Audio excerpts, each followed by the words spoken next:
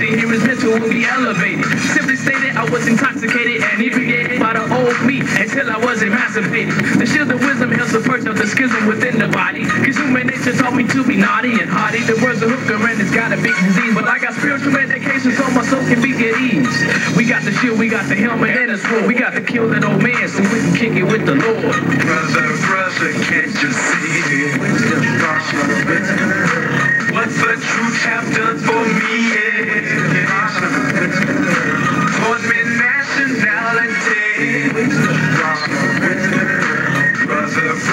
can't you see? Brother, brother, can't you see? What the truth have done for me? Yeah. Taught me nationality. Brother, brother, can't you see? Come on. Brother, brother, can't you see? The have done for me? Yeah. Taught me nationality.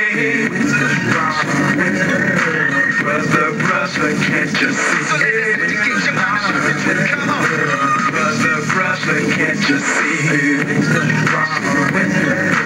What the truth have done for me?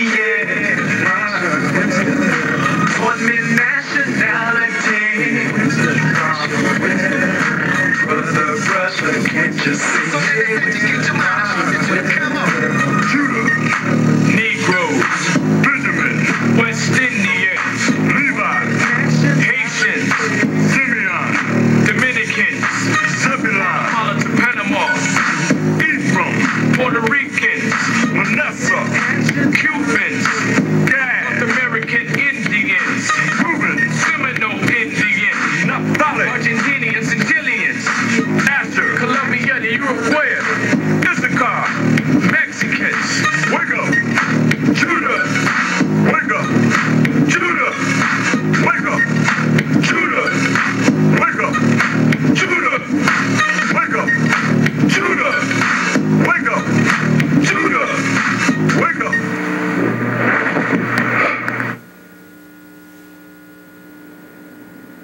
Shalom, brothers and sisters. Welcome to Share the Wisdom. I'm your host, Priest Thaahwam. Now, Share the Wisdom is a program that's geared to teaching the truth according to the Holy Bible, and I will be reading from the King James 1611 Bible.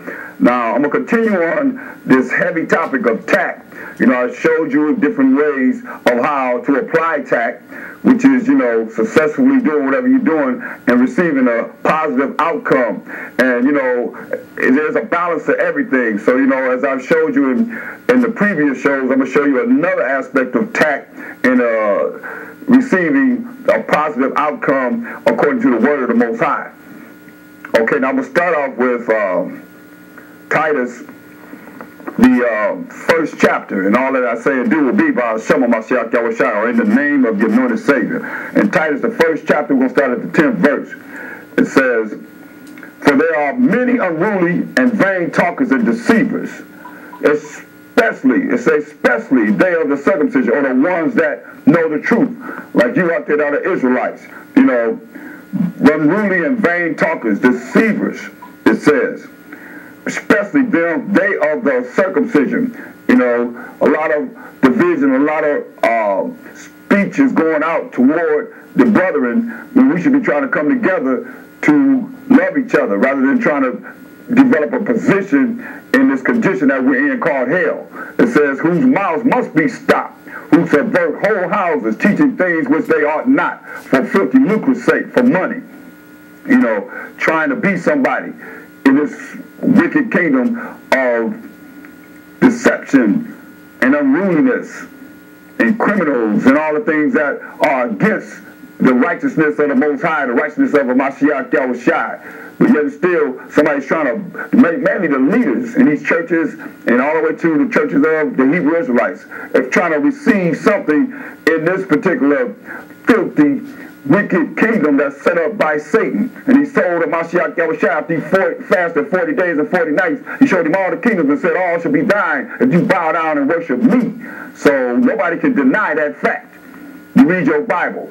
in Matthew the fourth chapter and Luke the fourth chapter. So you try to develop something here in wickedness, supposed to come together with our brothers in love. It says, one of themselves, excuse me, verse 12, one of themselves, even a prophet of their own, said, the Cretians are always liars, evil beasts, slow bellies. So he's talking about his brothers. Just like just, it's no different than right now.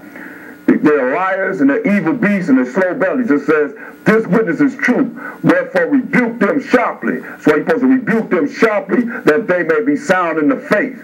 That they may be sound in the faith and not waver from the faith.